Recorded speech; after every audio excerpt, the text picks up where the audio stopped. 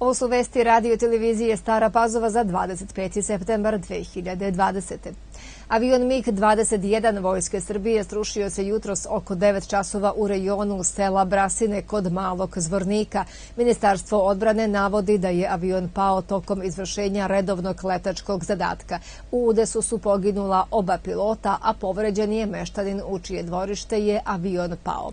On je prevezen u opštu bolnicu u Loznici. Ministarstvo odbrane je saopštilo da su na mesto pada aviona izašli nadležni istražni organi i da je u uviđaj u toku.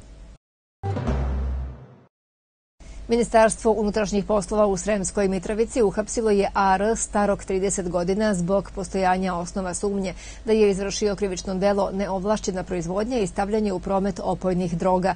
Prilikom pretresa njegovog stana policija je pronašla i zaplenila 174 grama amfetamina, 279 tableta ekstazija, malu količinu marihuane, digitalnu vagu i novac za koji se sumnja da je stečen preprodajom opojne droge.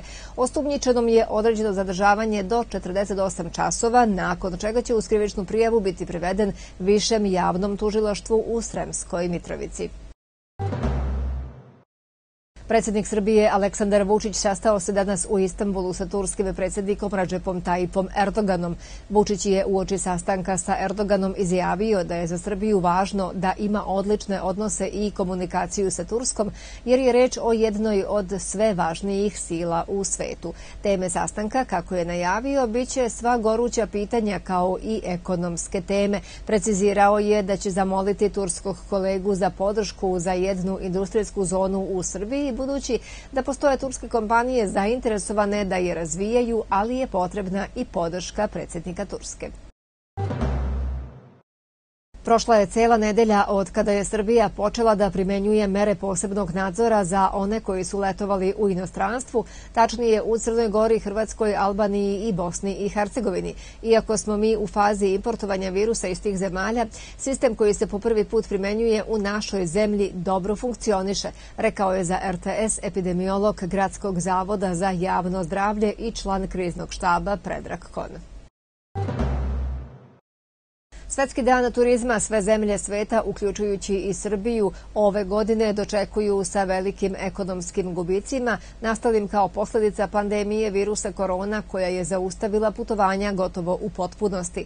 Kako se navodi u saopštenju turističke organizacije Srbije, zbog toga je obeležavanje Svetskog dana turizma u njegovoj četiri decenije dugoj tradiciji ove godine važnije nego ikada jer ističe značaj turizma za svetsku ekonomiju i skreće pažnju na milione radnih mesta koja su ugrožena. Ove godine se Svetski dan turizma obeležava temom turizam i ruralni razvoj te stavlja u prvi plan i značaj turizma za ruralne sredine.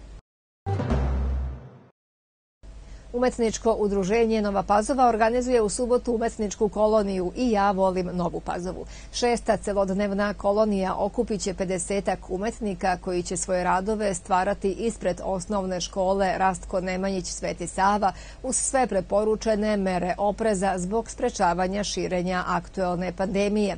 Izložba radova nastalih na ovogodišnjoj koloniji biće postavljena u galeriji Kulturnog centra Nova Pazova tokom oktobra.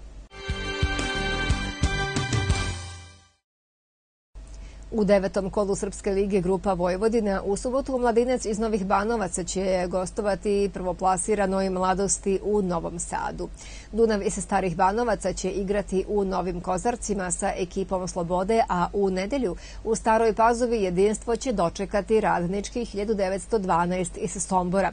Snimak utakmice iz Stare Pazove će se emitovati u ponedeljak na našoj televiziji u 12 i 22 časa. U devetom kolu Vojvođan Jadranske lige Grupa Juk, Podunavac će u nedelju u Belegišu igrati protiv jedinstva iz Rumenke, a Sremac će u Vojki dočekati ekipu Sloge iz Temerina. Radnički iz Nove Pazove će u Kaću igrati protiv ekipe Jugovića. Dan ranije, u subotu, dakle, Jadran iz Golubinaca će igrati protiv Cementa u Beočinu. Sve utakmice počinju u 15.30.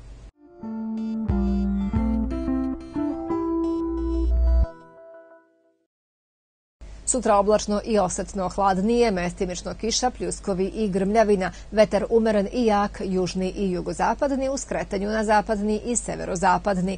Najniža temperatura od 14 do 20, a dnevna od 18 na severozapadu do 24 stepena na jugoistoku.